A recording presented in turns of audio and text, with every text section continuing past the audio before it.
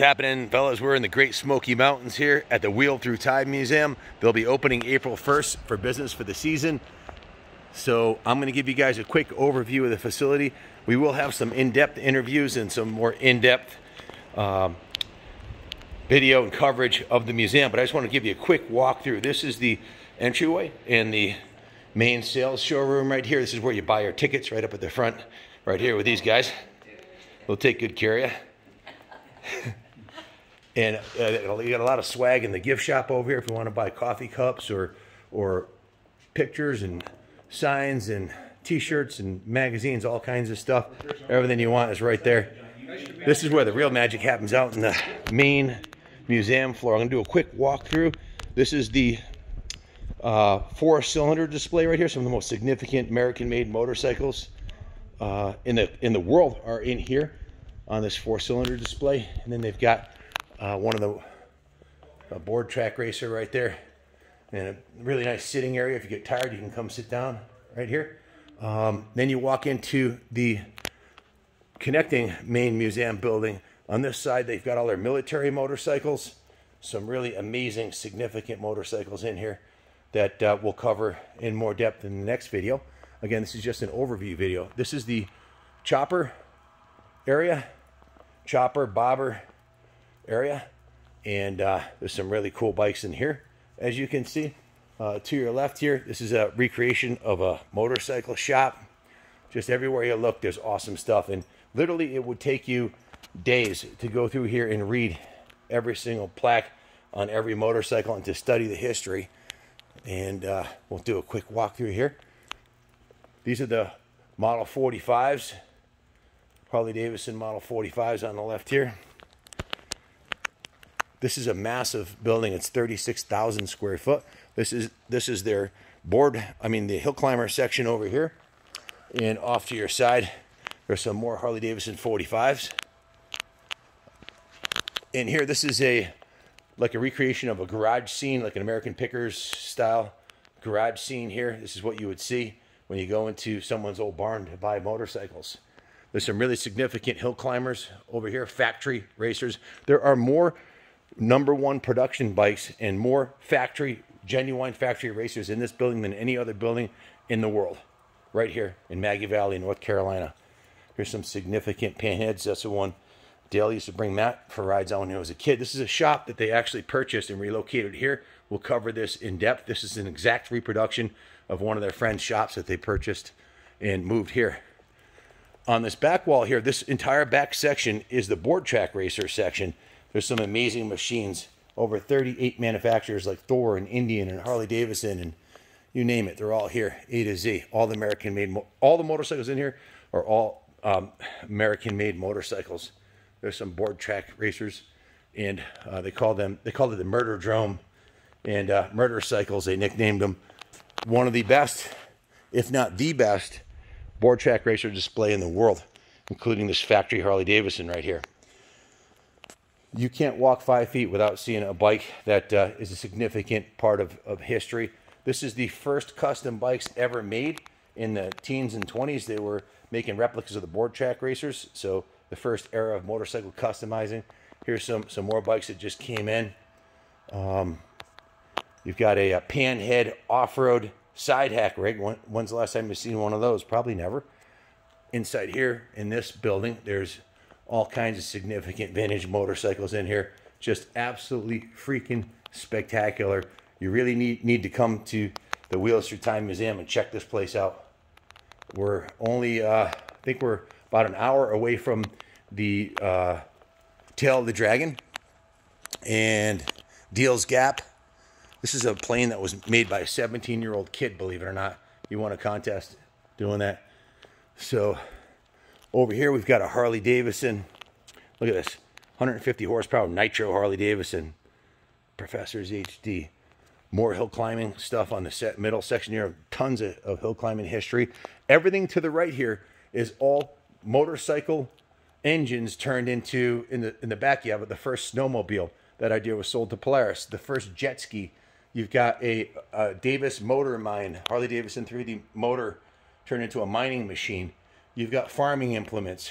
You've got um, snow blowers. You've got saws, all kinds of machines, rototillers created out of Harley Davidson and Indian and other manufacturers from the early ages. Uh, just incredible, incredible display here. More, more Motordrome stuff. Um, here's another re reproduction of a shop right in here. There's the middle section there. Um, I'll have hours of video covering all this to share with you. This is a, a, a the 19, early 19, the teens, they call this room here. This is all motorcycle parts and accessories and things you'd find from the early teens into the 20s. This is a, just an incredible collection of, of unobtainium parts, true unobtainium. A lot of stuff hasn't been made for over 100 years. A bunch of Yale, California displays, Indian. Absolutely remarkable. I'm like a kid in a candy shop here. Everywhere you look. Just absolutely stunning collection of motorcycles. There's a beautiful sidecar rig that's actually driven from the sidecar seat. Maybe one of the first handicapped motorcyclists, motorcycles. You wouldn't need your legs to, to drive that. Um, some amazing supercharged cars like this 1932 Club Special. Uh, three of a kind right here. These were made by Dale and Matt for them to use. Uh, here's a really cool vintage car. In this room, you've got lots of cars, lots of motorcycles, and we're back, as we come into this room here, we're back into the main room that this is what's in a barn. They had a reality show for two seasons that they, that they filmed here. Uh, it was on one of the Discovery subsidiaries. So we just walked in on the other side of that, um, of this display right here. You can take a peek over here. You can see that's, that's a showroom. That door right there leads to the sales showroom and entryway. That's the four cylinder display. We're on the other side of it. I just wanted to give you guys an overview of the flow of the building because I hadn't seen any videos that really covered that well. So um, this room here has uh, row after row of really significant rare motorcycles like this Crocker. Just beautiful. And you've got a couple Harley Davidson toppers and the two-stroke Harleys, a whole row of Tater twins. Just unbelievable. I'm not sure what this car is here, but it looks pretty, pretty, uh, pretty significant and rare. Just unbelievable, man. There's uh, all kinds of artwork and memorabilia everywhere.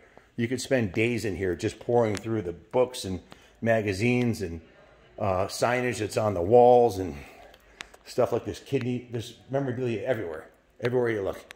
So a bunch of history on the Cannonball running here, actual Cannonball participant bikes, some that they built here in, in one, one, won the race. So this is, uh, I'm not going to call this the main museum room, but this is the main room that you walk into, and this is the two-level part of the of the museum. That's the 1936 Indian traffic car.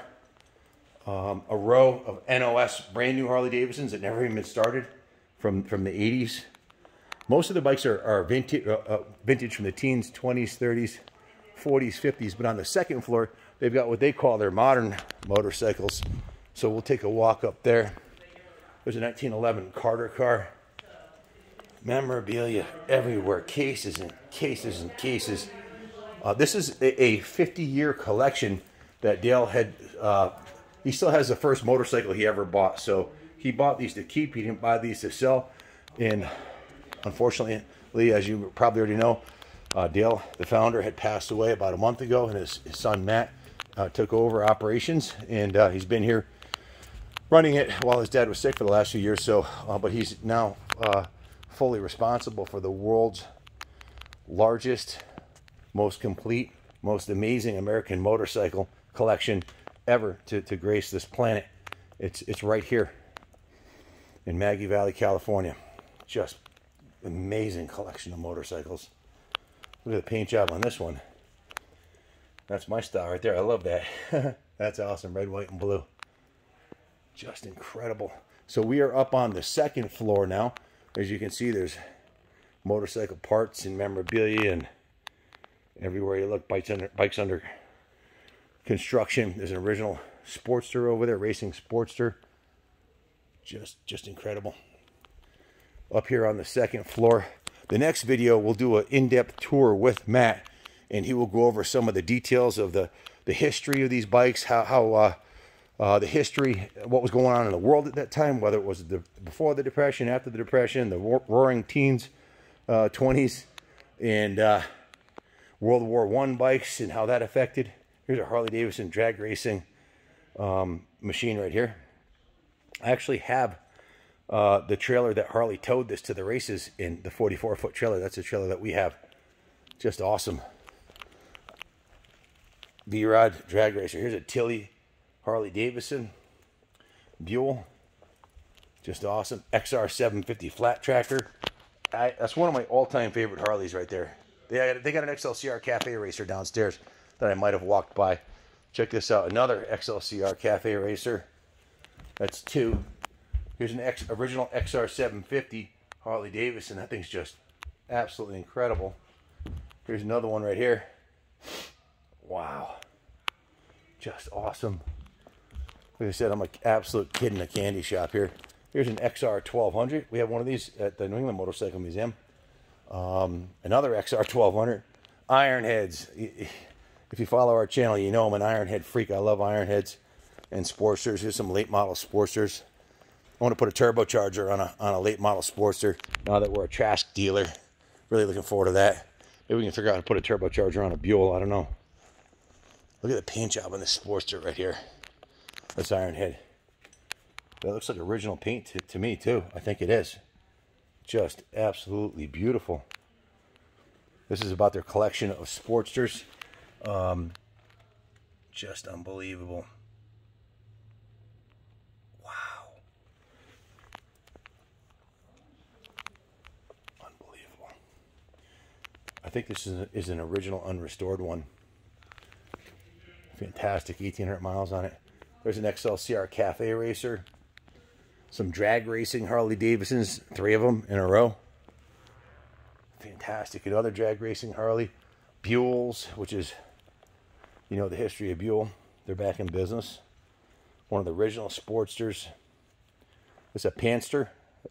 Huh, look at that. Panster. Panhead style valve covers on a, in, and panhead heads on a Sportster. Here's a beautiful, look at this thing. Wow red, white, and blue. All Americana. So again, I'm supposed to be focusing on the facility for you guys. This is the second floor mezzanine with some nice seating areas. If you're old, in the, you're in the 55 plus class and you get tired, sit down, grab a book, grab a cup of coffee, watch a video, watch one of the What's in the Barn episodes. Some really cool, significant bicycles over here. Hey, they, they even got Captain Captain Kangaroo in here. So, and lock your bike. People have been stealing bikes forever. I hate bike thieves. Back here in their storage room, they got tons of t-shirts. So you can order online. They get shipped next day. Go onto their website, Wheels Through Time. It's a 2003 Indian. Donated by Kenneth Porter of Knoxville, Tennessee. That's when they uh, started reproducing Indians for a short time. Late model Electra Glide 95th anniversary. Tour Glide nice shovel 81 Heritage Edition. These are what they call their late model. They're mostly in the, the into the vintage stuff but these are becoming more vintage as time goes on. 72 Harley Davidson Night Train. Look at the paint job on that. Original paint artwork unobtainium artwork everywhere all over the walls. This stuff's pretty much priceless. Where are you going to find this kind of stuff? Just an incredible collection. Unbelievable. Here we're overlooking the first floor of the museum. Hopefully this gives you a, a, a, a little overview of the main museum lobby here. They even have an elevator here if you're handicapped.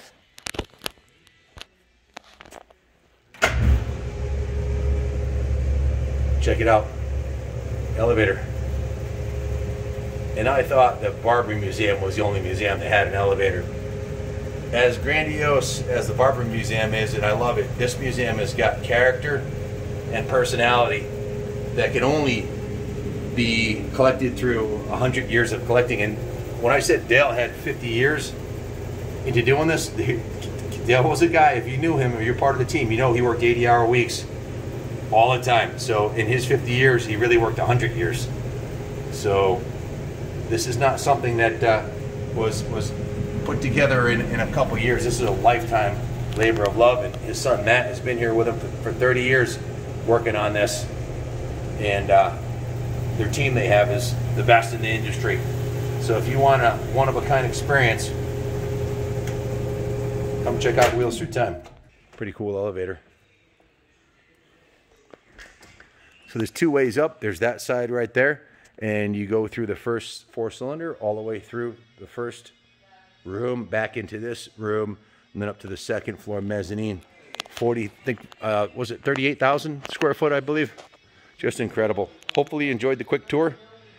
Um, plan on having plenty of time when you come here to check this place out a full day and bring your sneakers.